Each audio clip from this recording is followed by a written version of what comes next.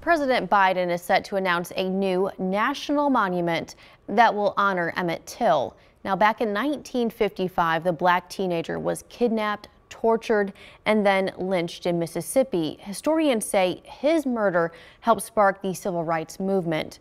Biden is expected to make his announcement tomorrow on what would have been Till's 82nd birthday.